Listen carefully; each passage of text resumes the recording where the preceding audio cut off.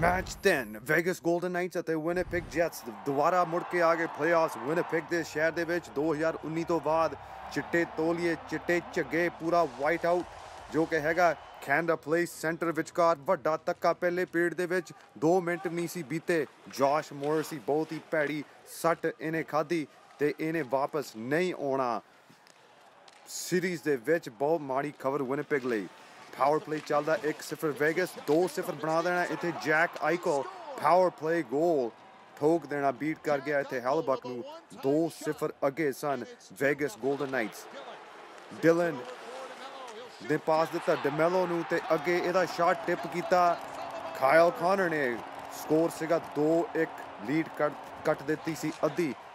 Vegas ਇੱਕ ਵਾਰ ਫੇਰ power play ਤੇ ਠਾ ਲਾ ਦੇਣਾ ਸ਼ਾਟ ਜੈਕ ਆਈਕੋ ਦੂਜਾ ਪਾਵਰ ਪਲੇ ਗੋਲ ਇਸ ਮੁਕਾਬਲੇ ਦੇ ਵਿੱਚ ਵੈਗਸ ਨੇ ਲੀਡ ਫੜ ਲਈ ਸੀ 3-1 ਸਕੋਰ ਤੇ। ਹੁਣ ਫੇਰ ਆ ਗਏ Vegas Golden Knights Keegan Kolesar Manitoba native ਨੇ ਕਰ ਦੇਣਾ ਗੋਲ ਤੇ ਸਕੋਰ ਸੀਗਾ 4-1 ਵੈਗਸ ਤਿੰਨ ਗੋਲਾਂ ਦੀ ਬੜਤ ਅਜੇ ਵੀ ਜਿਉਂਦੇ ਸੀਗੇ ਵਿਨਿਪੈਗ ਜੈਟਸ ਸਮਾਂ ਪਿਆ ਤੀਜੇ ਪੀਰੀਅਡ ਦੇ ਵਿੱਚ, ਗੁੱਟ ਦਾ ਸ਼ਾਟ ਇੱਥੇ ਠੋਕ ਦੇਣਾ ਗਿਵਨ ਗੋ ਬਹੁਤ ਸੋਹਣੀ ਖੇਡ ਇੱਥੇ, ਤੇ ਕਰ ਗਿਆ ਸੀ ਗੋਲ ਇੱਥੇ ਨੀਨੋ ਨੀਡਰਾਈਡਰ ਪਾਵਰ ਪਲੇ ਤੇ ਵਿਨਿਪੈਗ ਜੈਟਸ 4-2 ਹੈਗਾ ਸਕੋਰ ਠੋਕ ਦੇਣਾ, ਸ਼ਾਟ ਇੱਥੇ। ਮਾਰਕ ਸ਼ਾਈਫਲੀ ਉਤਲੇ ਕੋਨੇ ਦੇ ਵਿੱਚ ਬੀਟ ਕਰ ਗਿਆ ਸੀ ਇੱਥੇ। ਲੋਰੈਂਟ ਬ੍ਰਾਸਵਾ ਨੂੰ ਇੱਕ ਗੋਲਾਂ ਦੀ ਬੱਟ ਰਹਿ ਗਈ ਤੇ 30 ਸਕਿੰਟ ਤੋਂ ਘੱਟ ਸਮਾਂ ਨੈਟ ਖਾਲੀ। ਜ਼ੋਰ ਪਾ ਰਹੇ ਨੇ ਵਿਨਿਪੈਗ ਜੈਟਸ ਪੱਕ ਆ ਜਾਣੀ ਹੈ ਪੁਆਇੰਟ ਤੋਂ ਰੀਬਾਉਂਡ ਐਡਮ ਲਾਵਰੀ ਕਰ ਗਿਆ ਆਪਣਾ ਚੌਥਾ ਗੋਲ ਇਸ ਪਲੇਆਫਸ ਦਾ।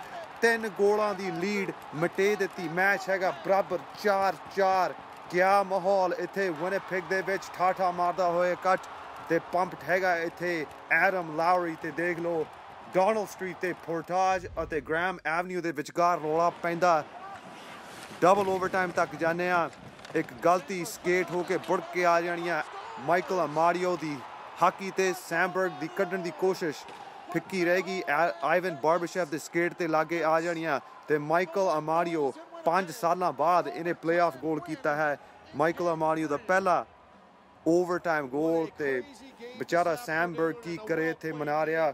ਗੋਲ ਤੇ ਦਰਸ਼ਕ ਜੋ ਕਿ ਹੈਗੇ ਨੇ ਵਿਨਿਪੈਗ ਜੈਟਸ ਦੇ ਬੜੇ ਸੈਡ ਹੋ ਗਏ ਸੀਗੇ ਇਸ ਮੁਕਾਬਲੇ ਤੋਂ ਬਾਅਦ। ਪਰ ਕੋਈ ਗੱਲ ਨਹੀਂ, ਇੱਕ ਹੋਰ ਮੁਕਾਬਲਾ ਵੀ ਹੋਵੇਗਾ। ਮੈਚ ਨੰਬਰ 4 ਹੋਵੇਗਾ ਸੋਮਵਾਰ ਦੀ ਸ਼ਾਮ ਨੂੰ ਵੈਗਸ 골ਡਨ ਨਾਈਟਸ ਲੀਡ ਕਰ ਰਹੇ ਸੀਰੀਜ਼ 2-1